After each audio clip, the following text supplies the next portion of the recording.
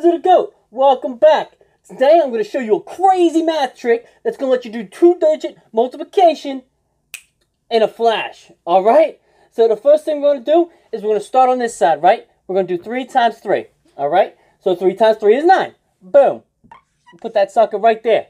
Okay? Now, for the middle part, right?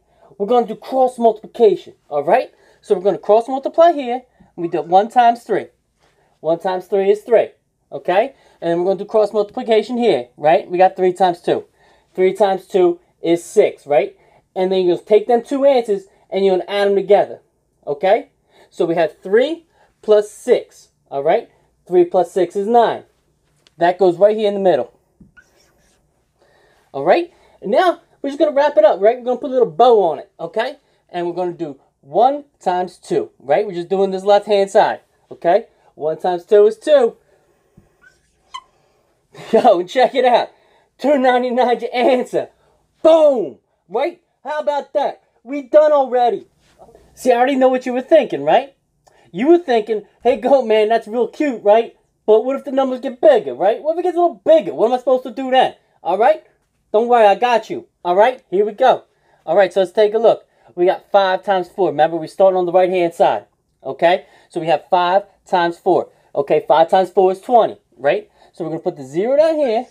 Okay? Now watch. We are going to carry the 2. Okay? We have to carry that 2, right? So we're just going to bring that 2 over here. Okay? Same thing again. We're going to cross multiply, right? So we got 1 times 4 is 4. And now we're going to do 5 times 3 plus that 2. Okay? So we got 15 plus the 2. That's 17. All right? And we're going to add them together. Okay? So it's 17 plus 4. All right? 17 plus 4 is 21. All right? So that one goes here. Okay? And then, look, it's already there for us. We had to carry another 2, right? All right. So there's that 2 there. All right? And now what you're going to do to the left-hand side. So we have 3 times 1, right? Plus that 2. 1 times 3 is 3, plus the 2. 5. 510. All right? Now, isn't that much faster? Right? Did it go take care of you? All right?